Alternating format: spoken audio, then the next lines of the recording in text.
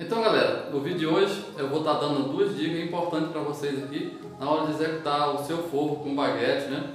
É, como vocês podem ver, é, muita gente às vezes é, questiona fazer forro de gesso em telhado, né? Causa, pode causar problema com respingo de chuva, se bem que o respingo não causa problema, não pode ter goteira, né? Então vou dar uma dica para vocês aqui e a outra é como fazer, é, colocar o baguete na parede ou a moldura, no caso das paredes já estando pintadas, né? O que você vai fazer, né? E, mas antes aí pessoal, eu gostaria de pedir para vocês mais uma vez aí, não é inscrito no meu canal, e inscreva-se no meu canal, né? deixe aquele like, vamos fortalecer esse canal, só assim, através você se inscrevendo, deixando aquele like, fazendo aquele comentário, é que nós podemos ter um crescimento no nosso, nessa plataforma, né? Então eu te peço mais uma vez aí, se não for demais, se inscreva aí no meu canal, né? E vou falar em parede pintada, falar em tinta, e fez lembrar no canal do meu amigo Carlos Eduardo, canal Casa e Corpo MG. Lá você, entrando nesse canal, você vai ter dicas muito importantes na área da reforma em geral, mas principalmente na área de pintura, né? O canal dele é muito forte né?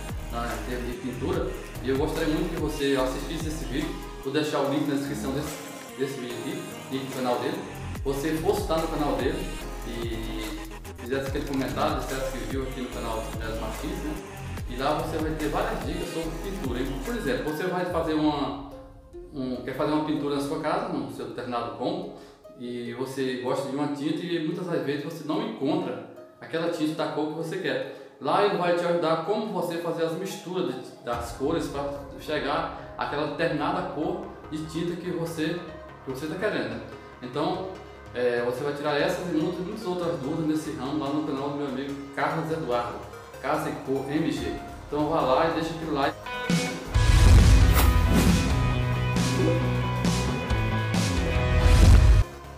Então, perceba que aqui eu estou picotando com uma machadinha, a machadinha é muito importante nessas horas, né? É, dá uma picotada, batendo na linha primeiro, depois vem com a machadinha picotando, tipo tirando essa, essa tinta, né? Essa massa envolvida na verdade com a tinta, né? Porque se não fizer isso, o gesso não segura legal em cima somente da, da tinta, né? Então tem que tirar esses picotes, esses cortes, né? Aqui você percebe que eu já picotei o ambiente inteiro, né?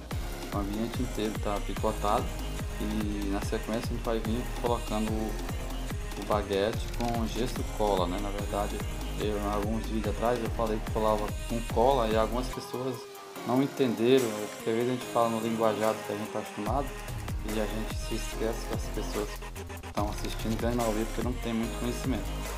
Na verdade é gesso cola. E meu irmão está colocando né, o, o baguete com gesso cola, a gente tá, coloca o gesso cola no baguete e dá aquela flexionadazinha para ele colar legal nessas ranhuras que a gente fez aqui no, na parede. Né? É, para que ele fique bem firme Você perceba aqui que ele está colocando, colocando é, bastante escola, né, que é para que preencha todas essas ranhuras que a gente fez na parede, esses local que a gente cortou com a machadinha e para não correr risco, assim ele está bem seguro, né? Se fosse na parede do reboco comum, sem tinta, não precisaria dar essas picotadas, tá gente? Aí depois a gente vem com a massinha e limpa, faz, limpa embaixo, vem com a massinha e dá acabamento nessas emendazinhas, nessas, deixa bem acabadinho, né?